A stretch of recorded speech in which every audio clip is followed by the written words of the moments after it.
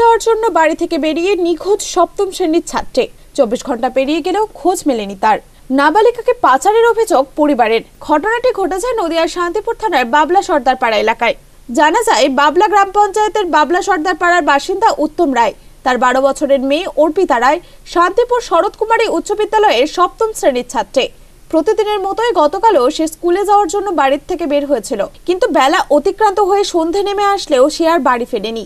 পরিবারের তরফ থেকে দীর্ঘ সময় খোঁজাখোঁজের পর অবশেষে থানার দ্বারস্থ হয় ওই পরিবার। বুধবার চব্বিশ ঘণ্টা অতিক্রান্ত হওয়ার পর শান্তিপুর থানায় একটি লিখিত অভিযোগ দায়ের করা হয়েছে নিখোঁজ বালিকার পরিবারের তরফ থেকে। পরিবারের অভিযোগ, শান্তিপুর থানার জোড়াতালি বটতলার বাসিন্দা বুড়ো মণ্ডল নিত্যদিন ভাঙাড়ির কাজ নিয়ে এই এলাকায় যেতেন। ওই নাবালিকাকে উত্ত্যক্ত করতে বলেও জানা যায়। বিভিন্ন সময় প্রলোভন দেখাতো বলে এলাকাবাসীরা জানিয়েছেন। ওই নাবালিকা নিখোঁজ হওয়ার পর অভিযুক্ত বুড়ো মণ্ডলকেও খুঁজে পাওয়া যাচ্ছে না। পরিবারের দাবি, অভিযুক্ত ওই যুবক নাবালিকা মেয়েকে পাচারের উদ্দেশ্যে কোথাও নিয়ে গিয়েছে। প্রশাসনের দ্বারস্থ হয়ে তারা দাবি তোলেন, অবিলম্বে তাদের নাবালিকা মেয়েকে উদ্ধার করার ব্যবস্থা করুক প্রশাসন এবং অভিযুক্তকে কঠোরতম শাস্তি দিক। অভিযোগের ভিত্তিতে তদন্ত শুরু করেছে শান্তিপুর থানার পুলিশ। কালকে আমার মেয়ে স্কুলে যাওয়ার নাম করে বাড়ির থেকে বেরিয়েছে স্কুল ড্রেস পরে। তারপরে আর বাড়ি ফেরেনি। দিয়ে তারপরে অনেক খোঁজাখুঁজি পরেও পাইনি। তারপরে থানায় এসছি, তাও কোনো ইয়ে করেনি আমাদের থানার থেকে।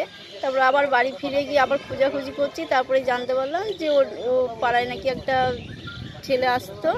মানে দুটো ছেলে আসতো বয়স্ক মতন তা ওদের ওরা নাকি কথা বলতো পেছনে লাগতো দিয়ে তারপরে সেখান থেকে মানে আমার মেয়ের সঙ্গে নাকি কথা টথা বলতো। দিয়ে আমাদের পাড়ার ছোট ছোট বাচ্চা ছেলে পেলে বলল হ্যাঁ ও কথা বলে কথা বলতো ওর সাথে পেছনে লাগতো এখন আমাদের সন্দেহ হচ্ছে ওরাই নিয়ে গেছে আমার মেয়েকে ভুলিয়ে ভালিয়ে। যে ছেলেগুলো কথা বলছে ওর বয়স কত? তাও চল্লিশ বছর হবে। আচ্ছা তারা তাদের বাড়ি কোথায়? বাড়িটা আমরা এখন খোঁজার পরে জানতে পারলাম যে জোড়াকালী বটতলা একটা আর একটা ববি কলোনি ওখানে দুজনের আপনি বলছেন আপনার মেয়ে ক্লাস সেভেনে পড়ে তো বয়স তো বারো বছর। হ্যাঁ। এটা এটা কি মনে হচ্ছে? সন্দেহটা কি আমার মনে হচ্ছে আমার মেয়েটাকে ফুসলিয়ে নিয়ে গেছে।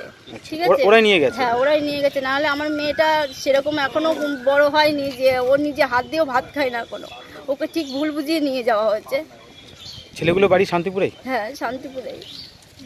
কখন হয়েছে কালকে ঘটনাটা? কালকে ঘটনাটা ও স্কুলে তো বেরিয়েছি সাড়ে নটায় কিন্তু আমি পাঁচটার মধ্যে বাড়ি ঢোকে পাঁচটায় যে বাড়ি ঢোকেন আমি তখন থেকে খোঁজাখুঁজি শুরু করেছি।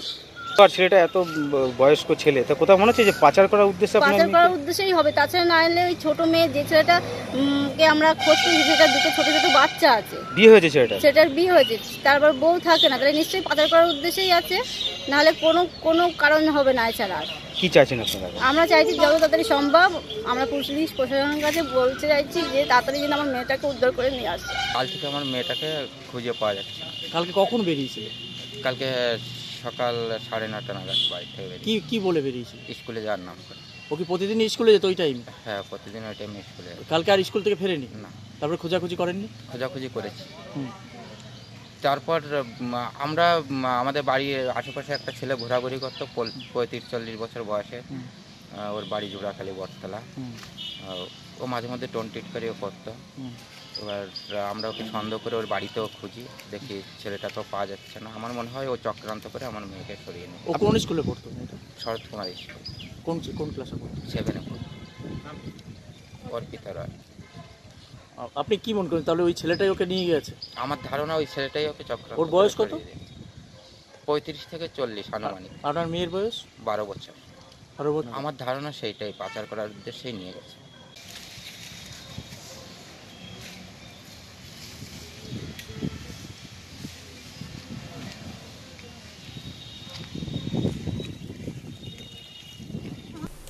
নদিয়া থেকে মাধব দেবনাথের রিপোর্ট আনন্দ বার্তা